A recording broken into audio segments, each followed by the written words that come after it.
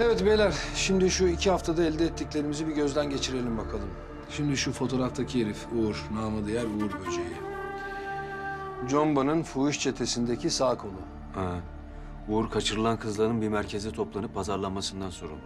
Uğur'la Jomba'nın üstünde de bu Rusyalı dediğimiz adam var ya o var. Ya bunun ne işte bu herifin adı? Neyse ne. Biz zaten bunu imamın kayına bindirmeyeceğiz mi ya? Bindireceğiz bindirmesine de herifi bulamıyoruz ki. Zaten bence sadece bu iti temizlemek çözüm değil abicim. Yani karşımızda bayağı uluslararası bir şebeke var. Bu şebekenin de Türkiye'de bir merkezi olmalı. Aynen ve biz de o merkeze dalacağız ve onların dikkatini çekeceğiz.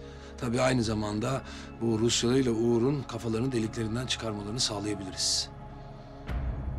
İyi akşamlar. Ne oluyor arkadaş gene ya? Şahin göz mü bu? Heh, İyi akşamlar. Ben de şimdi kambersiz düğün olur mu diyordum. Fatma'yı kurtardığınız için size teşekkür etmek istedim. Ah be sulu göz iki hafta oldu sen anca mı bizi tebrik etmek için arıyorsun? Sizin için bilgi toplamakla meşguldüm Dadaylı. Fuhuş şebekesinin başında Moskova'da yaşayan ve adına Rusyalı dedikleri bir adam var. Türkiye'deki ortağı ise çok iyi bildiğiniz biri. Comba İsmail. Oho, sen giderken biz geliyorduk Şahingöz. Biz o iki adama da ulaştık. Ulaştık derken en fazla isimlerine ulaşmışsınızdır Serhat. Peki ya merkezleri? E işte onu da sen söylersin diye düşündük.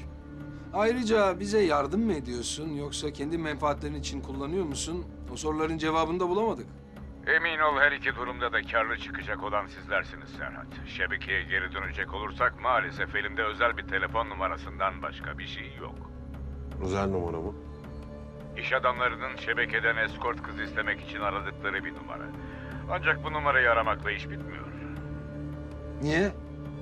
Şebeke güvenliğe çok önem verdiğinden arayan kişinin gerçekten iş adamı olup olmadığını ve geçmişini araştırıyor. Eğer şüpheli bir şey yoksa arayan kişiye geri dönüyor. Ancak şunu unutmayın, telefonda onlara konsept arabalarınızla ilgileniyorum diyeceksiniz.